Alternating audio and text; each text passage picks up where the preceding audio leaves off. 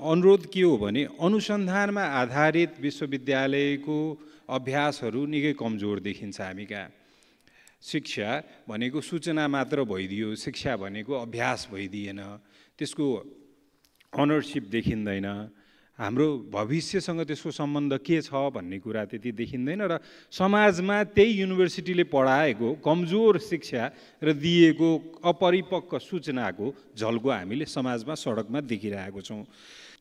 नेपालको संविधानको धारा एकाउन्नमा राज्यका नीतिहरू अन्तर्गत खण्ड ज जमा शिक्षालाई वैज्ञानिक प्राविधिक व्यावसायिक सिपमूलक रोजगारमूलक एवं जनमुखी बनाउँदै सक्षम प्रतिस्पर्धी नैतिक एवं राष्ट्रिय हितप्रति समर्पित जनशक्ति तयार गर्ने भन्ने रहेकोले सोको परिपूर्तिको लागि उच्च शिक्षा अध्ययन अध्यापन गराउन विद्यालय स्था विश्वविद्यालय स्थापना भई सञ्चालन भइरहेका छन्। सम्मान्य सभामुख महोदय हामी सोसल मार्केट इकोनोमीमा विश्वास गर्ने राष्ट्रिय स्वतन्त्र पार्टी जसले लिबरल सोसल डेमोक्राट्स भनेर हामी आफूलाई ठान्दछौँ। त्यसैले गर्दा कसैले लिबरल आर्ट्सको कुरा गर्दैछ यो देशमा र विश्वविद्यालयको परिकल्पना हुँदैछ भने हाम्रो त्यसमा असहमति छैन। तर यो सैद्धान्तिक कुरा मात्र भयो। प्राविधिक रूपमा हेर्ने हो भने यो उद्देश्य र यसमा जुन एक किसिमको प्रबुद्ध वर्गले यसको इनिसिएसन यसको अभियानको रूपमा लिनुभयो ठाउँ ठाउँमा पुग्नुभयो मान्छेहरूलाई व्यक्तिगत रूपमै अनुरोधहरू गर्नुभयो केही राजनीतिक क्रियाकलाप पनि देखियो। त्यो सबै चिज हुँदै गर्दाखेरि हामी सैद्धान्तिक रूपमा उत्साहित र सहमत भए पनि हाम्रो केही प्राविधिक र व्यवहारिक सरोकारहरू रहेको छ यसमा। प्राविधिक र व्यवहारिक सरोकारहरूमा हामी के गर्ने र के नगर्ने भनेर त्यो बुदागत रूपमा म प्रस्ताव राख्न चाहन्छु।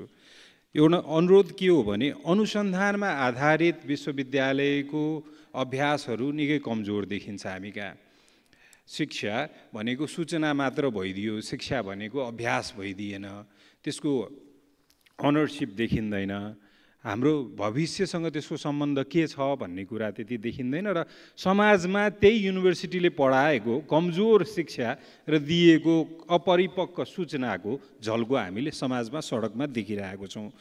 त्यसैले त्यसमा काम भो काम होस् भनेर भन्छु। अन्तर्राष्ट्रिय विश्वविद्यालयहरूसँगको सहकार्य र एक्सचेन्ज प्रोग्रामहरूको बारेमा त्यहाँ त्यति धेरै परिकल्पना थिएन र मैले समितिमा बोल्दाखेरि पनि यो कुरा भनेको थिएँ कि हामी विदेशीहरूसँगको सहकार्य गरौँ न किनकि हामीमा एउटा कुरा त हामी मान्नुपर्छ। हाम्रो आफ्नो युनिभर्सिटी सा हाम्रो छिमेकी राष्ट्रहरूमा त्यो पहिला अभ्यास आएको भए पनि अहिले हामी शिक्षामा धेरै पछाडि पढिसक्यौँ। र त्यसैले गर्दा यहाँ त्यो गल्ती फेरि नदोहोरियोस्। यही देशमा काठमाडौँ युनिभर्सिटी जस्तो असल र सफल उदाहरणहरू पनि छ जसले स्रोतको लागि राज्य कोषमा भर परेन र आफैले स्रोत व्यवस्थापन गरेर विश्वलाई र देशलाई राम्रो शिक्षाको उदाहरणहरू पनि दियो।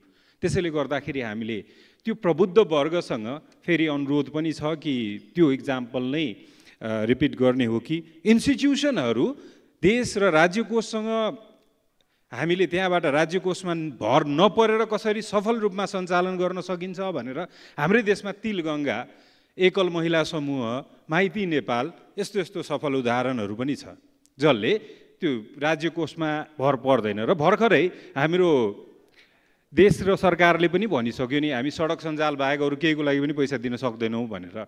त्यसैले अहिले पास गराउनुको लागि गराइहालौँ पछि चाहिँ पैसा मागौँला भनेर नहोस् र अर्को हामीले देख्यौँ कि जग्गा अधिग्रहण जग्गा कहाँ पहिचान त्यो कुराहरू धेरै बाँकी छ। त्यसैले त्यो प्राविधिक कुराहरूमा पनि सरोकार राख्न चाहन्छौँ। के नगर्ने भन्ने कुरामा दलीयकरण चाहिँ कृपया गर्दै नगरिदिनुहोस्। प्रधानमन्त्रीज्यूले धेरै ठाउँमा दलीयकरण गर्नुपर्छ राजनीतिकरण चाहिन्छ भन्नुहुन्छ तर अहिले एक ठाउँको दीक्षान्तमा पुग्न सक्नुहुन्न अर्को विद्यार्थी उहाँहरूकै पार्टीसँग सम्बन्धितले गर्दाखेरि परीक्षा रोकिन्छ।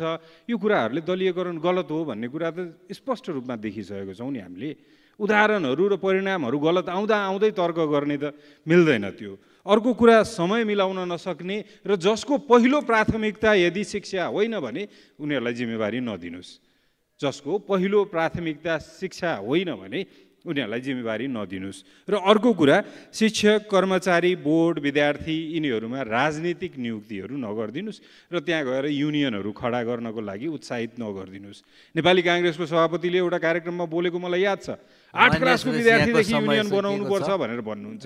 यस्तो। नगरौँ। शिक्षाको त्यो परिणामले हामीलाई कहाँ पुर्याउँदैछ कस्तो जर्जर अवस्था पुर्याइसक्यो भनेर हामीले देखिरहेका छौँ। र यो के गर्ने के नगर्ने भन्ने अनुरोधहरू म त्यो प्रबुद्ध वर्ग र साथसाथै सरोकार मन्त्रालय र साझेदार सबैमा अनुरोध गर्न चाहन्छु। धन्यवाद। मान्य सदस्यहरू अब मान्य शिक्षा विज्ञान तथा प्रविधि मन्त्री विद्या भट्टराईलाई छलफलमा उठेका प्रश्नहरूको जवाफ दिन अनुमति दिन्छु। सम्मान्य सभामुख महोदय नेपालको संविधानको धारा एकाउन्नमा राज्यका नीतिहरू अन्तर्गत खण्ड ज जमा शिक्षालाई वैज्ञानिक प्राविधिक व्यावसायिक सिपमूलक रोजगारमूलक एवं जनमुखी बनाउँदै सक्षम प्रतिस्पर्धी नैतिक एवं राष्ट्रिय हितप्रति समर्पित जनशक्ति तयार गर्ने भन्ने रहेकोले सोको परिपूर्तिको लागि उच्च शिक्षा अध्ययन अध्यापन गराउन विद्यालय स्थाप विश्वविद्यालय स्थापना भई सञ्चालन भइरहेका छन्। अहिले सूचना प्रविधिको विस्तार भई विभिन्न नवीनतम विषयहरू आइरहनुका साथै मौलिक विषयहरूको संरक्षण गर्नु आवश्यक रहेको छ। अन्तर्विधात्मक अवधारणाका विधातर्फ गुणस्तरीय उच्च शिक्षा प्रदान गर्नुपर्ने भएको र सोको लागि काठमाडौँ उपत्यका बाहिर विश्वविद्यालय र यसको केन्द्रीय कार्यालय रहने गरी प्रस्ताव गरिएको छ।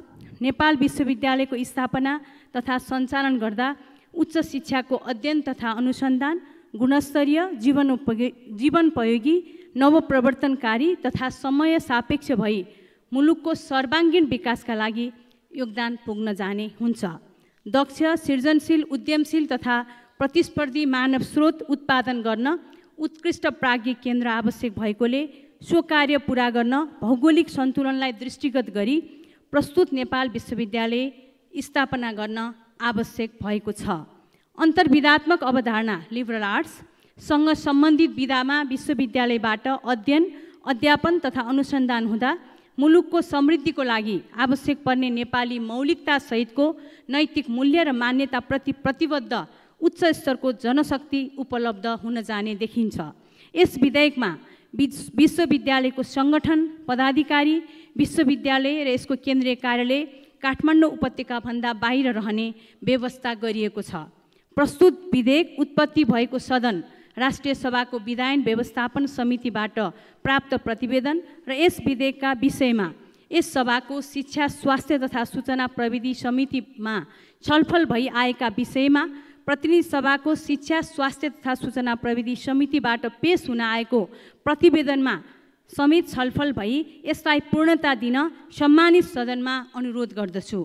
प्रस्तुत विधेयकमा प्रस्तावित व्यवस्थामा मूलत सार्वजनिक स्वरूप संरक्षण परिषदबाट विश्वविद्यालयको सञ्चालन व्यवस्थापन संरक्षण परिषदको अध्यक्ष कुलपति हुने व्यवस्था विभिन्न क्षेत्रका व्यक्तित्व संरक्षण परिषदमा रहने कार्यकारी परिषद विद्या परिषद सहितका निकाय रहने व्यवस्था गरिएको छ।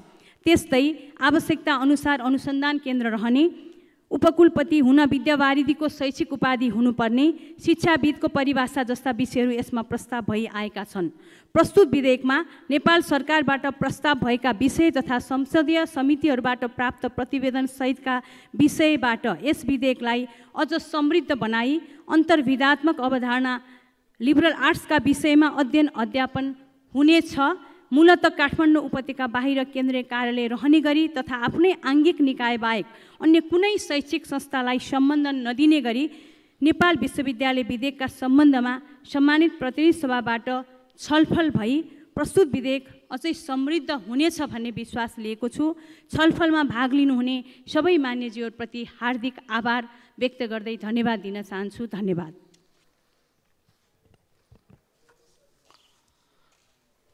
मान्य सदस्यहरू अब यो छलफल यहीँ समाप्त हुन्छ।